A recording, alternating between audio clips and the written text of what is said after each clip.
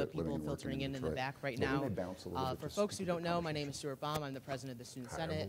Uh, it's my honor this morning to introduce not just one, but two university leaders. Um, so this will be a really good morning. Um, so first, of course, I'm going to introduce President M. Roy Wilson. Uh, president Wilson, of course, is our 12th president. Um, he's presided over this university during a tremendous period of growth um, through the celebration of our sesquicentennial, uh, through our largest, the enrollment of our largest freshman class ever, um, through the explosion of our public health program into a fully fledged department.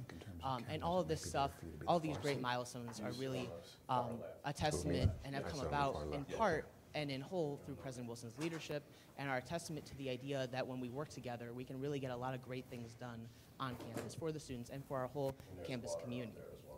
Now, I've also gotten to get to know President Wilson on a personal level, working with him through Student Senate, bringing him many student concerns and needs, and I've really appreciated his care and passion for those needs and concerns, um, and it's been a pleasure working with him to get those addressed. Um, now, I'd also like to introduce Dean John Corvino. Uh, so, of course, Dean Corvino is the second dean of the Honors College, um, new but not so new anymore. Um, really, you know, filling a, a big footsteps uh, in their founding dean, Dean Herron. Um, but I would like to say that he has really done a good job of filling those shoes. Um, I actually first met him uh, as my professor in one of his classes, um, and I can say that he is just as good of a dean as he was a professor. Um, after all, he keeps pushing me to join the Honors College, even though I'm graduating in May. but in all seriousness, yes. Uh, in all seriousness, um, he, I look upon him as a friend and a mentor, and he has been for many student leaders before me, and, and for that we are really thankful. Um, so it's a very exciting and consequential time to be at Wayne State, uh, and I'm really looking forward to the good conversation that we're about to have about where we've been, uh, where we are today, uh, and where we're going. Uh, so with that, I'd like to introduce President M. Roy Wilson and Dean John Corvino to the stage. Ahead. Hey, Stuart. Thank you. Come on, listen. Good morning. Stuart, it's not too late. um, thank you all for coming out this morning. So, let me say a little bit about the format. Traditionally, the president has done an annual State of the University address. I don't know about all of you, but I'm at that point in the semester where the thought of listening to one more lecture, and I say that as someone who gives lectures, I say that as someone who enjoys hearing you speak, but we thought we would do something, we thought we'd do something a little bit different and have a casual conversation about issues that concern the university community. And so we asked members of that community, students, faculty, staff from around the university, to submit questions. And we will be covering some of those questions today. We will not be able to cover all of them, but I am told that if people submitted a question, they will receive some answer at some point. Even if we don't get to it today, they'll get an email or something like that. So let me start with some sort of lighthearted warm up questions. You and the Board of Governors. let me give a little context for that question. Because, you know, leading up to this, a lot of people are saying, oh, you're going to interview the president. It's going to be all very scripted and canned. You're going to ask him about how he likes bike riding and, and, and all that. Um, but, you know, we're at Wayne State, we're in Detroit, we like to keep it real. And I thought, let's start with a, an elephant in the room kind of thing. Uh, because a lot of people know that there's been tension uh, surrounding the Board of Governors. Half the board has sued the other half of the board. Some board members have expressed criticism of you, other board members have defended you. It's got to be a sort of tense time with all that. What's your take on the situation and how we might move forward? Wow, you really uh, believe in uh, starting off hard hitting, don't you? I um, enjoyed being dean. I really did. It was yeah. nice. well, let me just say this, um, and I, I, just need to publicly say this first: that um, there's probably not a in fact, there is not a day that goes by that I don't get someone from the university community, whether it's faculty, whether it's staff, whether it's grounds people, the custodial staff, uh, to people throughout the city who don't offer me encouragement and uh, hope that things will change, but also just personally yeah, very, very supportive, and, and I do appreciate that. So uh, let me just start off with that. I think, as, as you mentioned, uh, there have been some challenges uh, on the board. I think that um, uh, without getting into the specifics of the lawsuit, I think that's pretty much a, a, a done deal. Um, we're moving forward with decisions that have been made. Uh, and my attitude is that as long as we can continue to move the university forward, then we just continue to do what we do and um, try to keep the board politics at a minimum and, or at least private and uh, just continue to move the university forward. We've got, we've got to concentrate on all the good things that's going on. And as we continue with this conversation, uh, I, I, think you'll see that there really are a lot of good things going on. And we need to focus on that. And as long as we can, we can get past the things that need to get past to move the university forward, we can try our best to keep things uh, uh, from being too public. Um, but the important thing is, is to keep the university forward. In terms of moving, moving forward, one of the uh, points of concern has been our relationship with the Henry Ford Health System. Yeah. Um, could you say a little bit about the status of those discussions? There had been a, yeah. a memorandum of understanding, and then sure, that, sure. that got put on pause. Yeah. Where, are we? Yeah. So um, let me start off with a truism. Um, no medical center or medical school can function without the clinical enterprise, whether that's the faculty practice plan or the hospital system, subsidizing research and education. Now, I'll, I'll do a slight caveat to that. A, a purely community-based medical school that does no research might be able to, but every other medical school in the country relies on the subsidization of research and education from the clinical enterprise. And we're not, we, are not in a position where we're getting that here because, you know, I think it's no secret Tenet is a uh, for-profit um, uh, corporation in which their uh, main concern is, is shareholder uh, profit. So we have to do something or, cha- uh, or change fundamentally what kind of medical school we have. Uh, having said that, I, I, uh, you asked me specifically about the Henry Ford situation. I think that um, Henry Ford is one uh, institution that does have similar uh, mission and um, goals that, that we do, have academic aspirations. And it would be nice to uh, have a deeper partnership with them. I think it would be to our mutual benefit. Um, having said that, because of the, the, um, the, the, recent um, um, tension. What's the, well, no, it's, it's more than tension. Uh, the, the, the recent shooting down of a, a letter of intent, um, you know, we've had to put some things on hold. But that's the bigger transformational vision. There are a lot of things that can be done that continues to deepen that partnership in a mutually beneficial way that doesn't require board approval. Um, and we are continuing to do those things. We have a deep relationship already. We have over 100 medical students that are trained there. We have research collaborations. We have uh, faculty who have joint appointments. Uh, so we have a lot already, and there are other um, partnerships that we can continue to work on that will deepen um, that working relationship because ultimately it's, it's all about trust.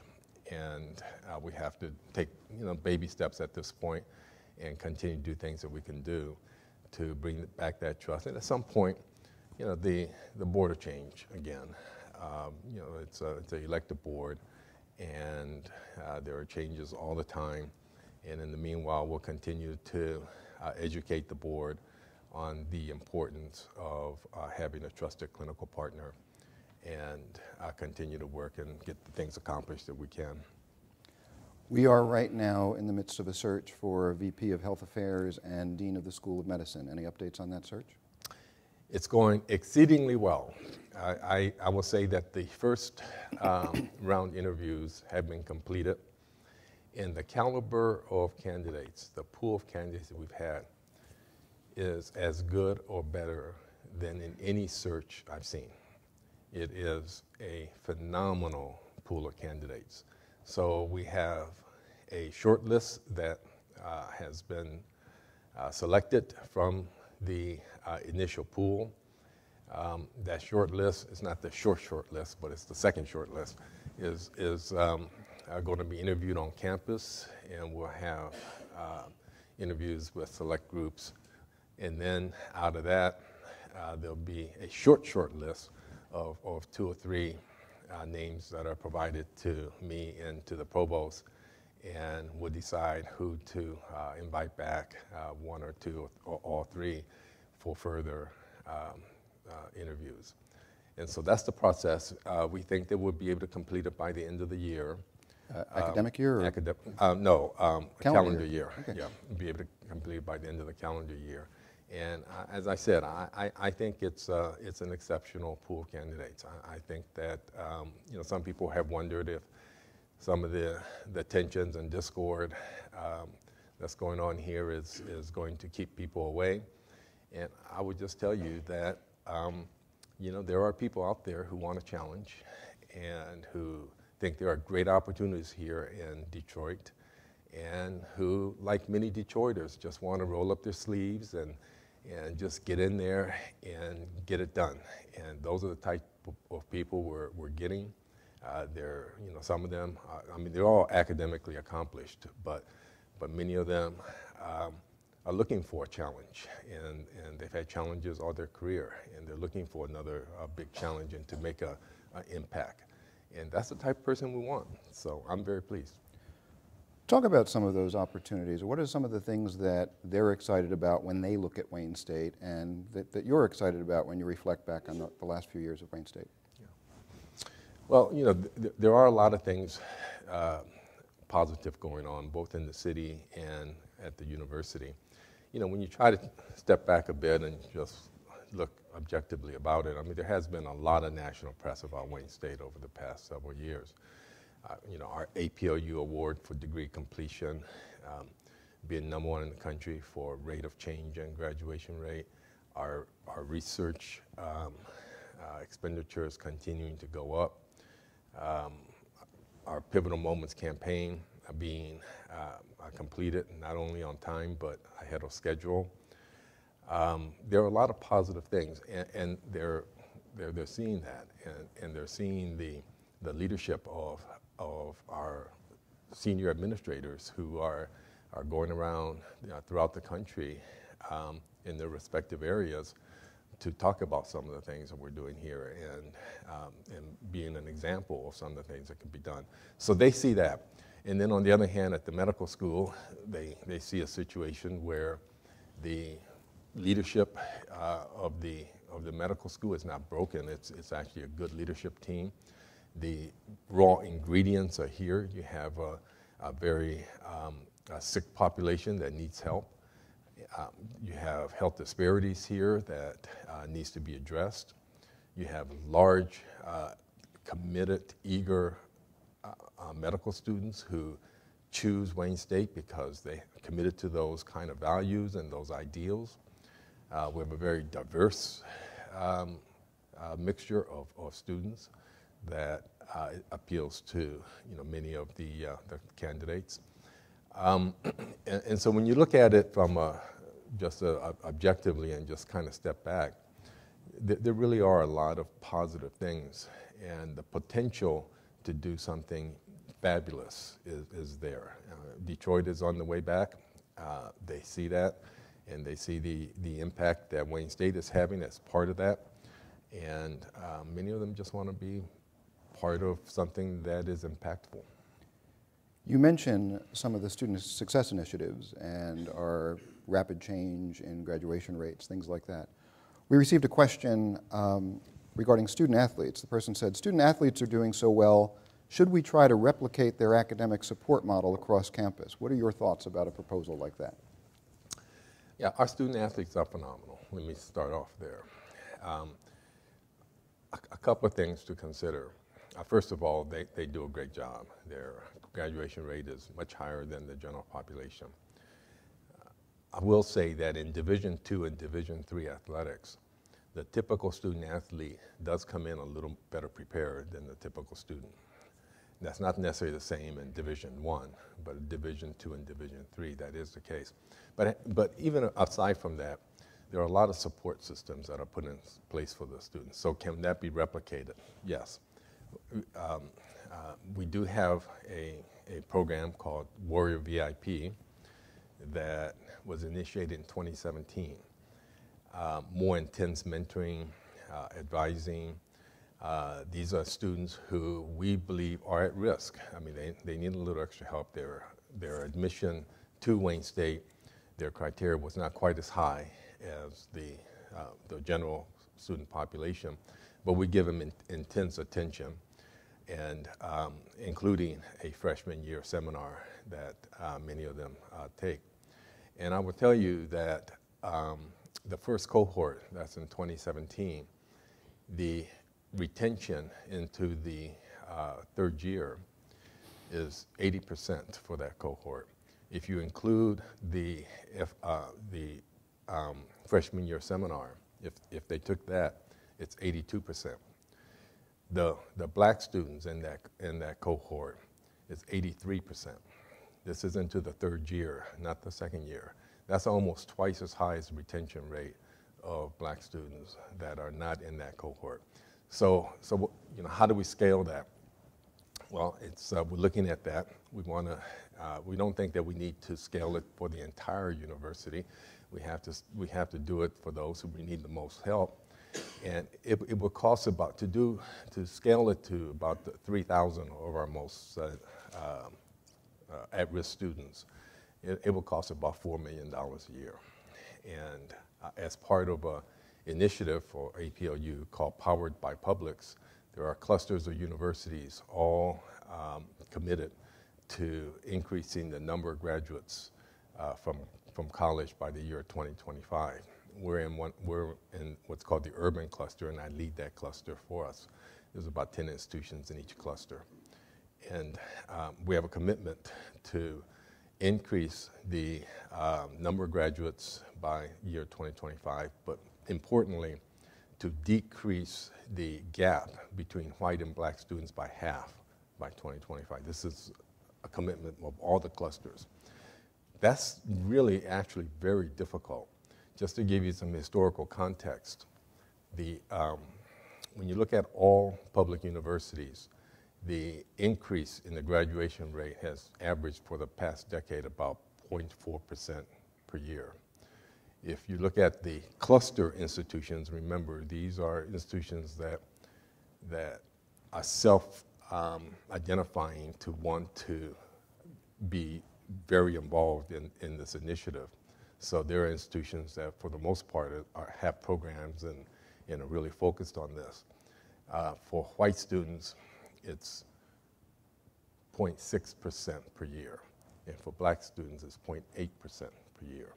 So you can, you can see that to um, you know, really make a difference and halve the disparities, there, there has to be a huge difference in the graduation rates between white and black students.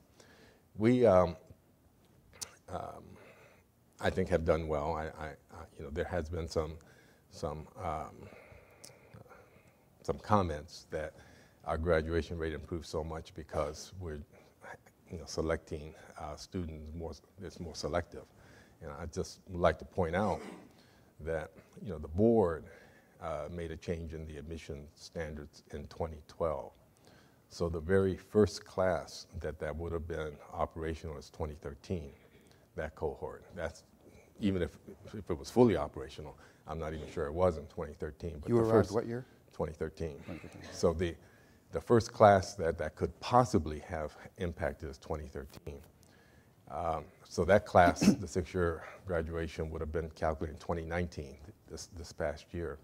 When we got the award by APLU and got the distinction as being number one in the country in the rate of improvement, that was for the class that graduated in 2017. So they would have come in in 2011 during the old admissions uh, standards. So that, that's not the reason. It's, the reason is because we have some real committed, dedicated staff that is making students first and that are uh, working really hard every day to um, you know, make sure that outcome. And, and, just again, to just put this in context, you know, I mentioned that the APLU institutions that's in the cluster, that the average rate of increase in the graduation rate was 0.6 or 0.8, whether you're white or black. You know, ours was 21% over six years. That's, you know, vastly different than, than, the, um, than what the rest of the, that the country is experiencing. So, you know, I wouldn't make light of the fact that um, uh, we have some real committed, really uh, competent people who are thinking about these things uh, every day and uh, doing everything they can to make sure the students succeed. You talk a lot about the numbers, about rates of improvement, and particularly challenges for minority students. And those numbers are very important. And of course, a lot of this, you know, we look at it by looking at the numbers. But I've got to imagine this has got to be an issue of some personal salience for you, right? You're, you're an African American president with an African American provost uh, in the city of Detroit. I mean, you don't, you don't talk about the personal salience a lot, do you? But I've heard you occasionally talk a little bit about your own backstory. Is that, is that something you want to say more about? Well, you know, it, it's, it's not even my own story. It's also the provost's story. You know, he likes to uh, talk to particularly African American students that's having trouble and uh, point to his own example where um, he was not a great student. And um, there were certain programs that helped him, and he um, has been, you know, wildly successful. Uh, I don't talk about my background that much, but you know, certainly, um, you know, I'm also uh, first generation. I, uh, um, in my whole extended family, to go to college. I take this very seriously. I love education. I, am uh, passionate about it. I think it's the equalizer for our society. Um, and, and my life's work has really been uh, committed to uh, dealing with disparities of all kinds, whether it's health or whether it's in education. Uh, and, you know, sometimes people uh, don't recognize what you do. Um, people outside recognize what you do more than people inside, you know, you know that story. But, you know, I think that I, I have a lot of um, uh, leadership roles nationally uh, trying to increase the uh, number of African Americans um, and all minorities in uh, not only in uh, leadership positions in education and, and, and health, but in, in many different uh, venues, um, in, including in, in biomedical research. Staying on this theme for a moment, we talk about um, educational disparities, we're talking about um, uh, challenges for underserved minority populations. Of course, one of those challenges is financial. And we have a question about the student debt crisis. Yeah. Uh, and the question is Are there going to be opportunities for in state students to attend Wayne State University tuition free? I think this might be influenced by some of the Democratic candidates talking about free yeah. college, maybe. Um, are there going to be any initiatives to forgive debt for graduating students? So you were talking about how expensive it is to do things, and, and yeah. What, so, do, you say, what so, do you say to that question? Yeah. So you, you, you, mentioned the uh, Democratic candidates right now, and a few of them are talking about free college. Um, um, you know, none of them are talking about how to pay for it. Right. Yeah. Um, it's, uh, it's, it's a great ideal. It's just as uh, is difficult to, uh, to do. I, I, will say that, um, that we have a lot of programs that we probably need to advertise better. Wayne Access, for example, is a, is a program where if you, if you expect a family uh, contribution to your education is less than $5,000, you can come to Wayne State with no out-of-pocket expense for tuition and fees, zero. Um, and if you expect a family contribution from five to 10, it's a sliding scale. But if it's less than 5,000, and a lot of Detroit families are, are going to have expected family contribution less than 5000 per year, you, you can come to Wayne State. There are uh, 3,000 students in that category that we've helped over the past three years. It's only been, we've done this for three years now, so uh, over 3,000 students have uh, been able to uh, take advantage of this. so, um, so that, that, that's one program. Certainly the Warrior Way Back program that's getting national attention is another way of trying to help the students and relieve their debt. Uh, a number of years ago, we drastically changed our financial aid structure to de-emphasize, I probably shouldn't put, put the word de-emphasize. In, in the past, um, we were actually paying really good students to come to Wayne State. And, and they were, the, the, the um, financial aid, the grants particularly, were being skewed in that direction. Um, we made some changes so that it was it's skewed much more now toward need. We still have merit, but it's skewed much more toward need. And so there are a lot more students who are able to take advantage of this. And uh, that's been very helpful. And so combine that with Wayne Access and Warrior Way Back and some of the other programs we have, the wardrobe program, the food bank. Um, you know, we're doing what we can to try to keep it as affordable as possible. And I will say this, I, I can't um, uh, publicly announce this yet because it's going to be announced next week. And I'll just give you a hint. It's big enough that the governor will be here and the mayor will be here, but we're going to be announcing another major scholarship initiative that we're going to uh, start next year that um, directly talks to your, your uh, question. So stay tuned for next week. Foreshadowing. um, you mentioned a number of programs in there, including Warrior Wardrobe. You know, I've been on the road going to some of the alumni events, and, and people think that's a really cool thing. You know, people who have clothes to donate, bring them. Students who need clothes, maybe for a job interview, maybe for something else, pick them up. Um, it made me think a little bit more about how residential life has changed on this campus. I, have been here for 21 years. When I came here, this still had a reputation as being very much a commuter school, uh, and that's been changing over the years. Uh, we have a question from somebody who is a new employee in housing and residential life who is saying, how do you see campus housing and residential living uh, impacting student success? How important is that, and, and, and, and how, can, you know, how can we create better access for that? Yeah. Well, all the, the um, studies show that if you live on campus, you're just more engaged. You're more engaged, you you participate in uh, campus activities a lot more. You make uh, more friends. You get to know your teachers uh, uh better. And so, in terms of student success, uh, living on campus is um, uh, a big step. Uh, we try to go even a step beyond that in some ways. You mentioned athletics earlier. You know, one of the things athletics does is they live together. And so some of the programs that we have are is a cohort model where, where we try to encourage uh, students with certain um, um, likenesses, whether it's interests or whatever, to live together and support each other as a cohort. The Med Direct is that way, for example. And that adds yet another layer beyond just living on campus, but another layer of engagement that most of the students have as a result of that. Um, so, uh, you know, we, we just opened our, had our uh, groundbreaking for um, the Anthony Wayne Apartments last week.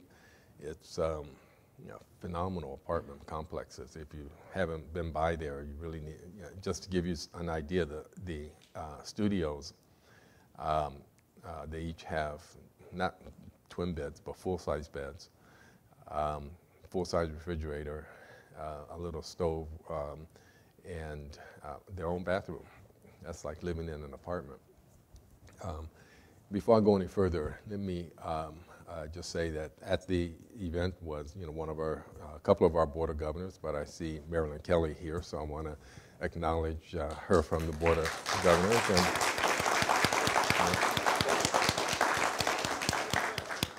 huh? Excuse me. Kim Trent. Kim Trent. Oh, okay. Oh, Kim. Yeah. and they were the two that were there last week at the at the uh, um, the opening too. So th- thank you both for being here, and I just want to also acknowledge uh, Jacqueline for uh, being here also.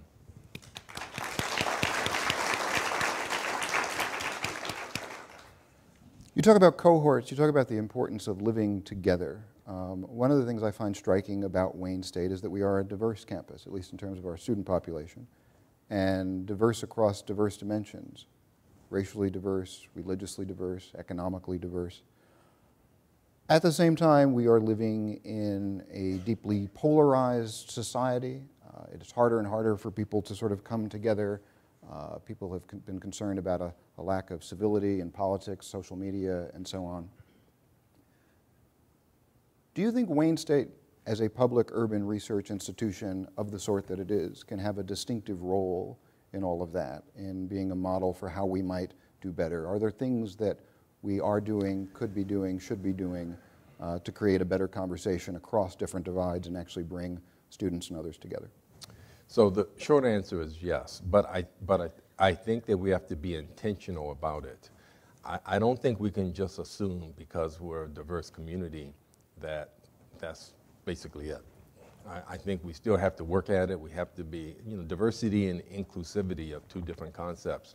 We have to, you know, really work at being inclusive and, um, and, and, the whole concept of civility is, is one that is something that I worry about. Uh, you know, you mentioned nationally, I think the, the national discourse has been um, difficult.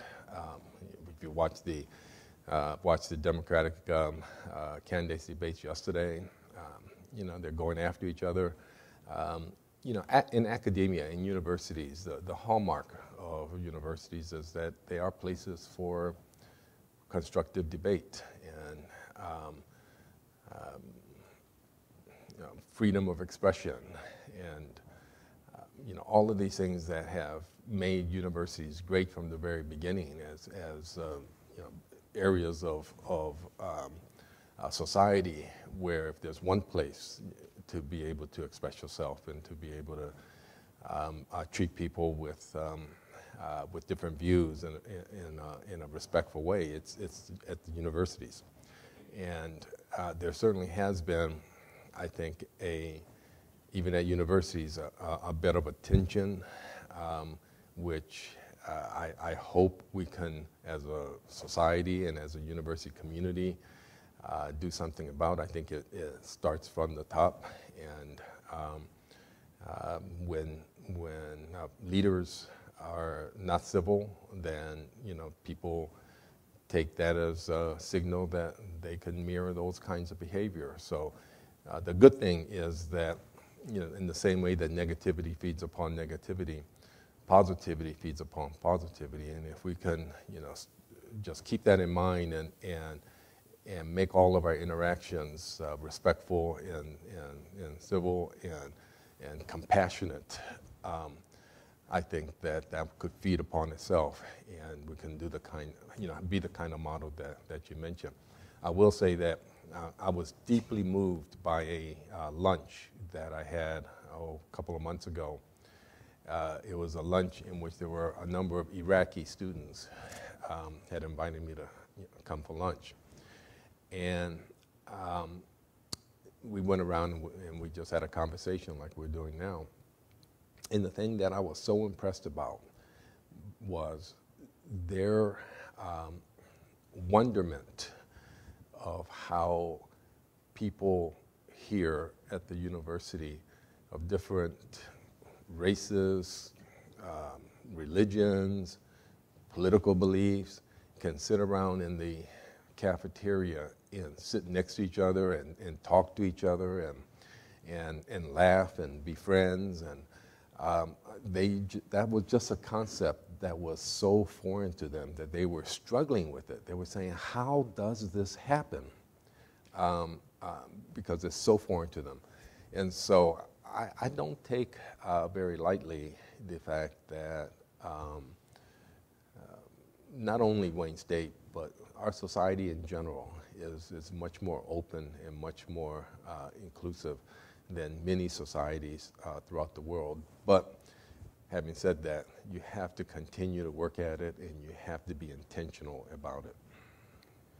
You talk about inclusiveness as something that doesn't happen by accident, that we have to be intentional and thoughtful about. One concern that's been raised is that while we have a very diverse student body, we have greater challenges with that with respect to faculty diversity. And what are we doing to make sure, A, that we hire diverse faculty, B, that we make them feel included, C, that for all faculty, our lessons, our research, the way we, we conduct ourselves uh, are inclusive and open and welcoming yeah. for, for all students. So let me break that into two parts. The first is the, um, the recruitment part. How do we get a more diverse uh, faculty? And, and certainly, um, it starts with the search process. And uh, one of the things that we've changed is that search processes begin with a, um, a, a, training on uh, implicit bias. Uh, even before that, the, the search committee needs to be diverse, and, and so there has to be a lot of attention placed on the search committees. But then once the search committee is formulated, OEO actually uh, does a training session uh, with the uh, search committees on implicit bias. The power of implicit bias, I, I, I've learned so much over the past um, 10 years on how powerful our biases are and how it impacts all of us. You know, even I, I think of myself as being pretty um, uh, enlightened in that way, and and I found my own biases that I have, and, and how you have to you know protect against those. And it's not something that that, that um, that's why it's called implicit. It's not something that we necessarily recognize, uh, but it's very powerful, and so that's that's one th- uh, thing. The other thing I, I, would just mention is that um, this is not an excuse, but um, when you look at our peers nationally, we're actually ranked number one in terms of the diversity of our faculty. Um, and this is you know, number two and three and four are other institutions that you would be, you would um, think about. You know, Temple was in there, um, uh, UIC is in there, University of Houston is in there. This is Urban Research uh, Urban Research Universities. But we are number one. And so um, that's not to say that we should be satisfied with that, because we have to continue to uh, do what I, I just mentioned and make sure we're intentional about it. Um, and, and so the problem, part of the problem stems from the pipeline. And, and that's where a lot of my personal efforts uh, have been. I'm um, uh, chair of an NIH committee on, on um, diversifying the biomedical research workforce. I'm, I'm, I'm, part of an APLU NSF uh, grant that's, um, that's looking at diversifying the professoriate and, and non-researchers, but in, uh, in, the professoriate um, more broadly.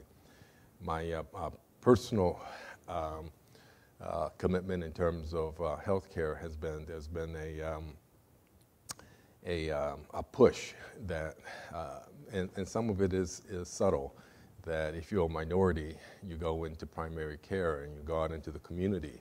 There's nothing wrong with that. But, well, then who's going to be the teachers? Who's going to be the faculty? Who's going to be the deans and the, and the, and the chairs of departments and, and, the, and the presidents of universities? You know, I mean, we have to get beyond the thinking that if you're a minority, you should uh, go out into the community and serve the community. That's great, but we also have to cultivate our leaders. And, and that's part of what this whole MedDirect thing is, is to cultivate leaders so that when they're through, that they are the faculty. And uh, um, uh, so it's a, it's, a, it's a pipeline issue also. Staying on the oh, oh and, and, then. I, I, didn't answer the other part, which is so, so even if, um, okay, so put that aside for a second, the recruitment aside. You know, we have a, a fairly diverse uh, faculty, but not everyone is on minorities. So how do we make sure that that there's inclusive teaching and, and inclusivity in terms of their, their pedagogy and, and so forth. And I, I know that the provost has been thinking a lot about this, and I don't know the, the individual uh, programs, um, I know that Darin uh, Ellis has, uh, has been working on something where, uh, and um, um, Anne Marie uh, uh, Cano has been, you know, working on, on something to that effect.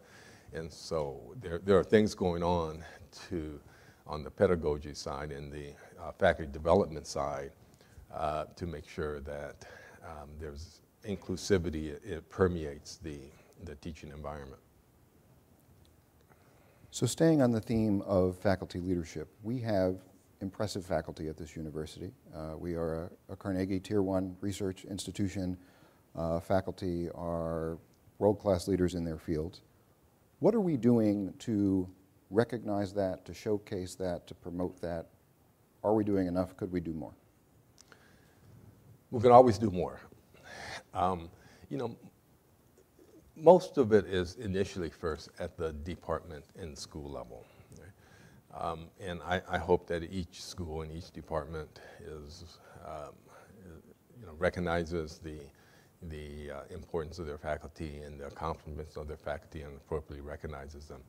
But at a, at a university level, um, you know, despite the the um, uh, budget crunches over the, the past 10 years, one of the things that we have not changed, we have not cut back on at all, are the various programs that we have to recognize faculty, whether it's the, the um, uh, Board of Directors uh, Faculty Distinction Award, uh, whether it's um, uh, the different prizes that, that we have uh, to incent faculty to, to um, the Murray Johnson. I think that's the name of the. Um, I, am looking. At, I'm looking at, at you, Julie.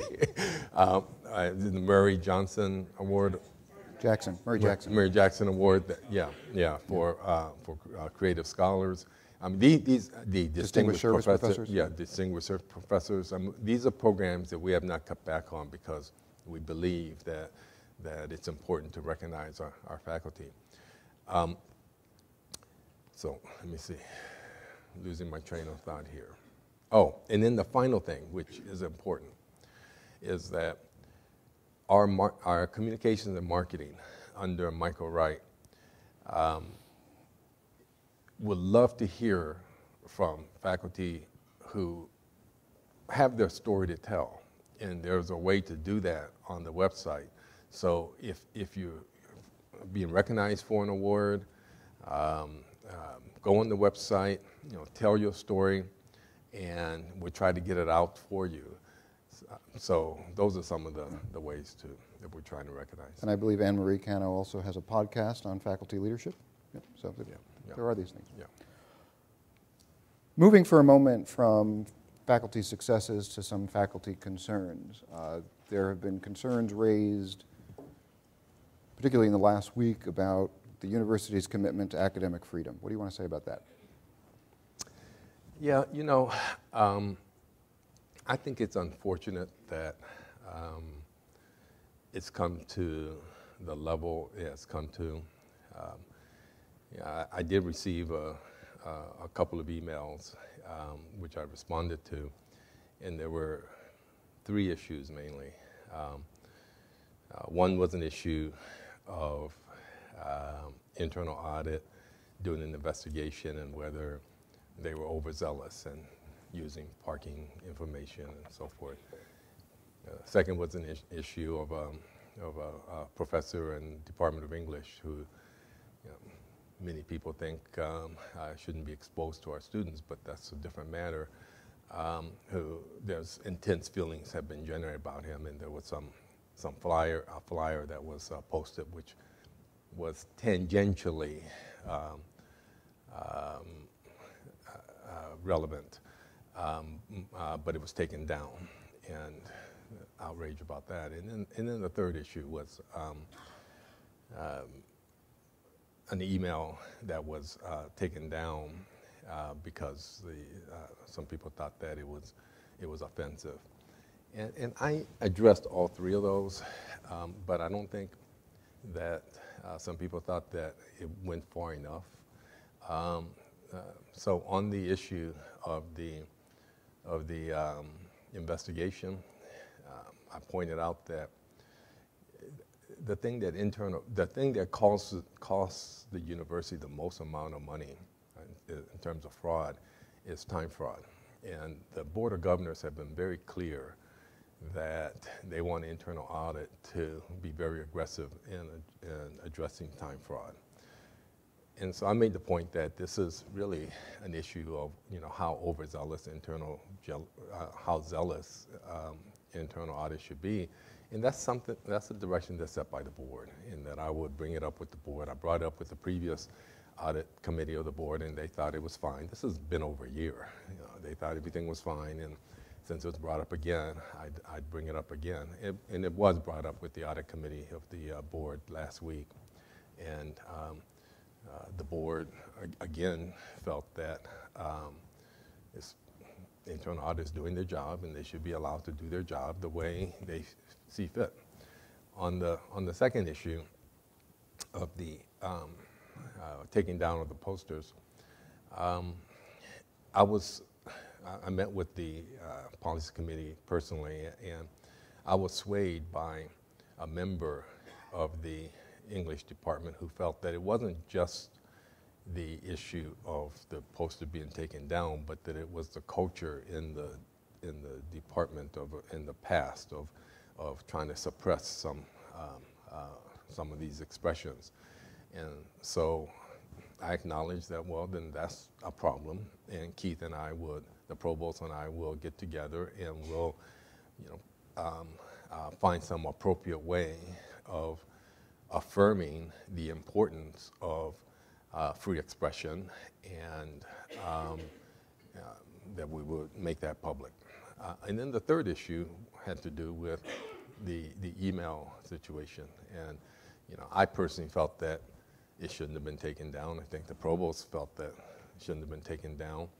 But we also believe that it wasn't done with any maliciousness, and uh, it was, they actually believed that that was the content was uh, within the policy. Uh, the content was egregious enough that within the policies that we currently have at the university that it, it warranted it. Now, I don't agree with that, but I, I trust that that's what they believed. And, um, and, and, I told uh, in my letter, I responded and said that, you know, we probably need to look at the policy because, uh, and I invite the policy committee to uh, work with the provost and, uh, and others to amend the policy so that it's very clear, um, but that there are instances where uh, email should be taken down. A good example is if, if someone violates HIPAA regulations and, and, and puts out private health information. I mean, you have to take it down then. And so there are certain times when it is appropriate. So let's look at what those times are let's come up with a policy. And um, I, I, think it just wasn't good enough. You know, my feeling on that is that um, I'm not, you know, I'm not going to publicly call out these people. Mm-hmm. That's not the way I am. Yeah. You know, these are these are hardworking people who every day come to the university, do the best that they can. And you know, not all of us are perfect, and sometimes we'll, you know, we make a mistake or we do something that others probably think we shouldn't do. But to publicly have to um, uh, humiliate them or, or call them out is, is, is also not appropriate. Um, you know, we're, we're all hardworking, we're all committed, we want the same things. You know, let's treat each other with some level of respect and give, some, give each other a, a little bit of um, benefit of the doubt that they're, they're acting in the best interest, they're trying to act in the best interest of the university. Thank you for that. Uh, we're coming to our last 10 minutes or so. Let me go to a more mundane faculty concern. That's not just a faculty concern, it's a student concern as well. Elevators. Yeah. Uh, I, teach in State Hall. I'm, I'm going to be going there later to teach my class. Uh, you know, we've got some beautiful new you know, buildings. Like I was at the Ilitch School yesterday. That's gorgeous. But, but State Hall, we've got some challenges say a bit about that. Yeah, so one of the things that's really great about the um, campus master plan that was recently uh, completed is that in, in, addition to laying out a kind of a vision of how our campus could be in the next 10 years, there are some very practical things in it. One of the practical things in it is a, a real analysis of what our deferred maintenance needs are and what it would cost to address these needs and whether or not we should be addressing these needs or maybe not. Maybe there are some buildings that, that um, we should demolish and um, uh, put up new ones uh, uh, or consolidate you know, uh, some services into or programs into uh, the better building. I mean, there's all those kinds of permutations. And one of the uh, practical things that came out of, of this is uh, a real good analysis of both State Hall and Scott, Scott Hall. Um, you know, for years we've been debating how much money to put into Scott Hall. And the, the verdict at this point now, based on the analysis that was done, is that it's a very inefficient building. It's, too, it's much bigger than it needs to be, and we probably need a new building. We do need a new building, but it's going to take, you know, it'll, it'll be the next capital campaign. It, it's going to, we're talking about a five to seven year time horizon at the, at the earliest. So what do you do in the meantime? Um, well, we can't just leave it the way it is. It's, uh, uh, but just because we're going to end up getting a new building in some time in the future, we got to make it functional now. And so we decided that we were going to make limited upgrades to it. Uh, we're investing in the vivarium because our researchers need to have a, a good vivarium during the time that they're going to continue to be in Scott Hall. Tell people what a vivarium is. It's, it's animal uh, like uh, facilities for research, um, mainly mice is, the, is what they're working on. Um, and I went to Scott Hall one day uh, just to look at it myself, and the elevators are terrible. I mean, they really are. And so we're in the last uh, board meeting, we were able to um, you know, pass a, a bond issue that's going to deal with the elevators. Scott Hall's the same thing. State Hall? Yes, uh, State Hall's the same thing. I mean, there are, you know, s- substantial deferred maintenance issues there. Uh, we we, we um, uh, need to make some investments in it. It's a little different than Scott Hall in that it can be really renovate it. And um, so we're going to start that process. And the elevators is, is, is, the first part of the installment, of, so to speak, of um, getting it um, you know, up to the speed that it needs to be. Uh, but over uh, the subsequent years, um, you know, it is, it is a priority to renovate um, uh, State Hall. And in fact, that's the top priority that we have now in the uh, capital plan that, that we give to the state each year is uh, to renovate uh, State Hall. So the master plan has uh, give, gives us a vision for the, the future, but at the same time, it gives very practical uh, things that uh, we could be working on now. Mm-hmm. And elevators is certainly at the top of that list. So parts of it we've already started implementation. Parts of it we're waiting to see what kind of funding we have in the next capital campaign. For these last few questions, let's do a kind of lightning round and, and, and make it sort of quick. Uh, talking about things we're building, basketball stadium. Say something yeah. about that. And some people are wondering, does this mean we're thinking about going Division One in basketball? I know nothing about sports. I don't even know what yeah. that question means, but I'm going to ask you. yeah. So, um, let, us take the last part first. Um, the, the decision to go to Division One or not is independent of the basketball arena. But they're related in the sense that if we were to make the decision to go to Division One, we couldn't do it right now because we don't have the facilities. So with the ba- new basketball arena, we would be able to, we would have the facilities necessary to go to Division One, but that's a separate decision. There are a lot of challenges to going to Division One, including financial. It's it's very costly. Um, but there are some. There's you know both sides of the argument. Uh, there are two sides to the argument. Um, you know we are one of the largest universities in the country that's Division Two. I, I sit on the NCAA President's Council, and most of the other presidents, I think there's 15 of us, we're larger by, than any other university on that President's Council by 20,000 students. Most of the, them are in the three or 4,000, 5,000 range. They're only about, only 5% of institutions have more than 10,000 students in Division uh, Two. So we're at 27,000 students. Uh, so we're a big institution for Division Two. But having said that, it is a separate decision, and, and that's one that I think will have to be made well after I'm gone. Okay. Um, but what this, what this does, this arena does though, is it gives our uh, players an opportunity to play at a, at, a, at a nice facility. But it does it at a, in a way that we can afford to do it because the Pistons uh, will be bringing their uh, a G League team down there and leasing from us. And so the lease rates for the Pistons G League will just about cover the debt service that we will have on the arena. Um, not quite, but just about.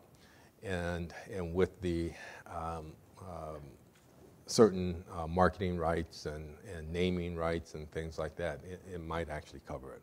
And so uh, I, I, think this is really exciting. It gives an opportunity to uh, partner with the Pistons on, on um, uh, a, a uh, sport that um, many Detroiters are, are, very involved with. You have legends like Dave Bing and others who, you know, grew up on, on playgrounds and, um, and had, uh, this gives opportunity for Pistons to uh, bring in kids from the, from the neighborhood and have programs uh, that we could participate with to introduce kids to uh, uh, basketball and um, uh, cultivate talent with some of these kids.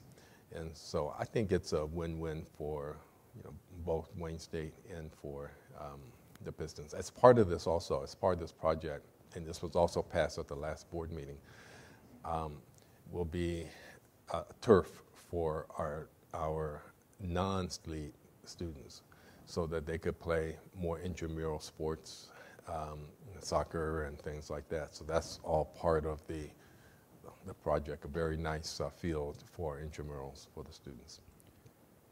You said some of these decisions being made after you were gone. You've been here six years now? Yep. Yep. Proudest moment in those six years? Wow. Um, so there are a lot of highlights in terms of you know, accomplishments that the university has been able to do. And we've talked about some of those, APLU, degree completion award, and so forth. But I, I think maybe the proudest is not a moment, but um, an evolution of uh, this university over the past six years. Um, what I don't hear that much anymore is some a term that was very prevalent when I first came here in 2013, and I hate the term, but it's being Wayned.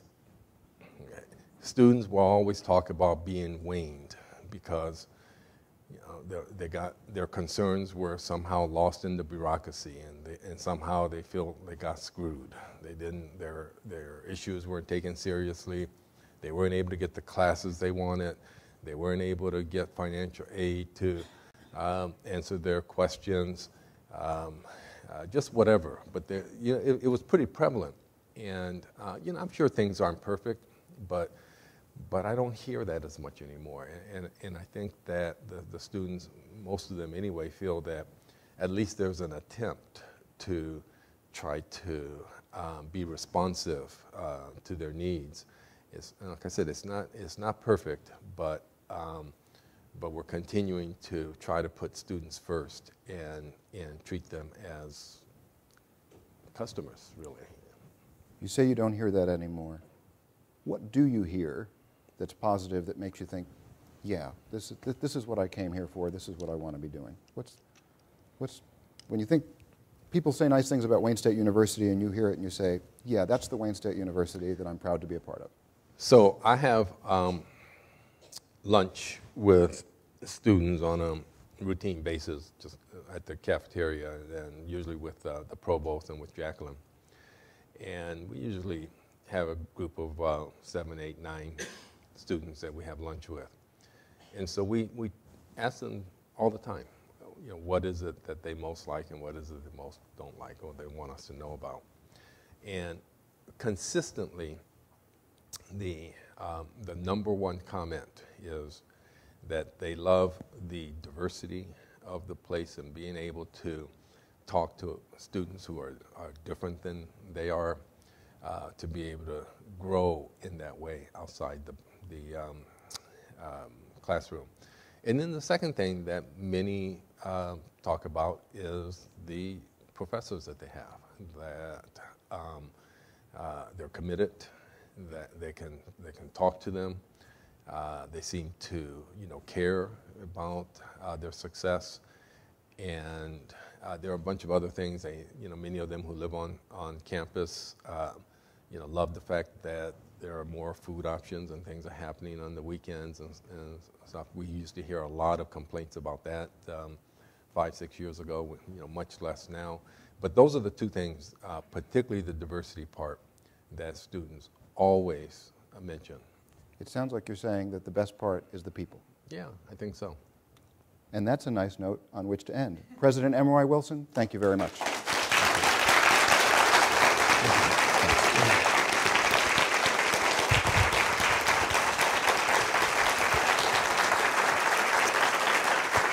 Well, thank you. And um, as, as, John was saying, we'll make sure that all the questions that were submitted are, are answered. So I appreciate um, your audience and, and your participation and asking the questions. Thank you.